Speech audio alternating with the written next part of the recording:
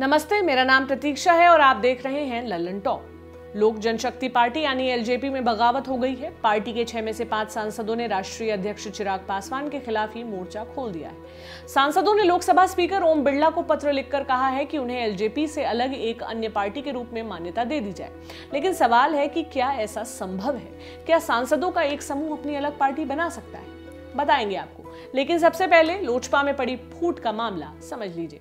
अद्विक को blood cancer है। उसके माँ बाप उसके इलाज कराने में असमर्थ हैं। इन्हें आपकी एक छोटी सी मदद की ज़रूरत है। डिस्क्रिप्शन में दिए हुए लिंक पर जाएँ और अद्विक की उम्मीद बने।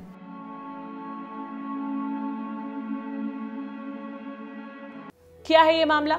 साल 2019 के लोकसभा चुनाव में लोजपा ने छह सीटें जीती थी। चिराग पासवान, जमुई, पशुपति पारस पासवान, हाजीपुर, रामचंद्र पासवान, समस्तीपुर, चंदन सिंह नवादा, बीणा देवी, वैशाली और महबूब अली केसर, खगड़िया। ये लोग इन जगहों से लोजपा के सांसद हैं। रामचंद्र पासवान की मौत हो गई। उपचुनाव हुए। उनके बेटे प्रिंस राज ने समस्तीपुर लोकसभा सीट जीत ली। पशुपति और रामचंद्र पासवान क्रमशः चिराग के चाचा और ताऊ हैं। प्रिंस ठहरे चिराग के चचेरे भाई। साल 2020 में पार्टी सुप्रीमो रामविलास पासवान की मृत्यु के बाद चिराग पासवान लोजपा के अध्यक्ष बन गए थे। अब बस खुद चिराग को छोड़कर बाकी सांसद अलग हो गए। और कहा कि उनके नेता चिराग नहीं, बल्कि पशुपति पारस है। अलग पार्टी की मांग कर दी। पार्टी का विभाजन कैसे होगा, ये अभी साफ़ नहीं है। पार्टी का सिंबल किसके पास जाएगा, ये भी साफ़ नहीं है। अब लोकसभा स्पीकर अलग पार्टी को इजाज़त देते हैं, तभी विभाजन को आधिकारिक माना जाएगा। फिर आयोग की नियमावली के अनुसार निर्णय लिए जा सकते हैं। अलग पार्टी बनाने का तरीका क्या है? लोगों का समूह मिलकर नया राजनीतिक दल बना सकते हैं। इस दल को चुनाव आयोग में रजिस्टर कराया जा सकता है। चुनाव लड़ा जा सकता है, वगैरह। लेकिन वर्तमान स्थिति में यस, ये प्रोविज़न नहीं है। सांसदों और विधायकों के दल बदलने की स्थिति में दल बदल कानून लागू हो जाता है। ये कानून 1 मार्च उन्नीस में लागू किया गया था। संविधान में बावनवे संशोधन के तहत दसवीं अनुसूची जोड़ी गई। इस कानून के तहत विधायकों और सांसदों के पार्टी बदलने पर रोक लगा दी गई। इसमें प्रावधान है कि दल बदल के कारण सांसदों, विधायकों की सदस्यता भी खत्म हो सकती है। हालाँकि कानून के मुताबिक चुने गए सदस्यों को अयोग्य करार देने का फैसला सदन के अध्यक्ष ही करते लेकिन इसमें एक कैच भी है। नियम है कि अगर किसी पार्टी के दो तिहाई सांसद या विधायक दूसरी पार्टी के साथ जाते हैं तो उनकी सदस्यता खत्म नहीं होगी।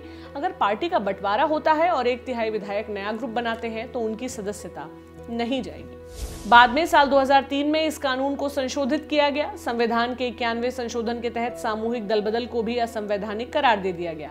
इसके तहत अगर किसी पार्टी के दो तिहाई सदस्य मूल पार्टी को छोड़कर दूसरी किसी पार्टी में शामिल हो जाते हैं तो उनकी सदस्यता नहीं जाएगी। अगर कोई पूरी पार्टी किसी दूसरी पार्टी में विलय कर लेती है तो किसी की सदस्यता नहीं जाएगी। पाठक और दर्शक नई पार्टी और दूसरी पार्टी के अंतर को समझे, वहीं पर सारा खेल है। इसके अलावा अगर किसी पार्टी के सांसद विधायक अलग होकर नई पार्टी बना लेते हैं तो भी किसी की सदस्यता नहीं जाएगी। यही नहीं, अगर पार्टी के दो तिहाई सदस्य किसी नई पार्टी में शामिल हो जाते हैं तो भी सदस्यता बच जाती है। तमाम स्थितियों में स्पीकर का फैसला आखिरी माना जाता है और स्पीकर के फैसले की समीक्षा भी हो सकती है, लेकिन केवल कानूनी तौर पर ही। कानूनी मामलों की वेबसाइट लाइव लॉ की एक रिपोर्ट के मुताबिक उन्नीस सौ सत्तावन से उन्नीस सौ सड़सठ तक पाँच बार सांसदों और विधायकों ने अपने दल बदले।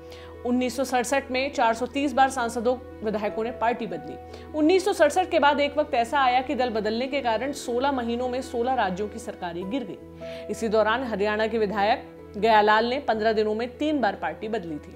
खबरें बताती हैं कि गयाराम को, के दल बदल को देखते हुए नारा चला था आया राम, गया राम। फिर उन्नीस सौ पचासी में राजीव गांधी सरकार विधेयक लेकर आई और बदलावों की फेहरिस्त लगी। कानूनों को देखें तो लोजपा के मामले में गेंद अभी स्पीकर के हाथ में है। बाकी जो होगा, पता चल ही जाएगा, पता चल जाएगा तो हम आप तक लेकर ज़रूर आएँगे। आप देख रहे हैं ललन टॉप मेरा नाम प्रतीक्षा है, हमसे जुड़े रहें, शुक्रिया।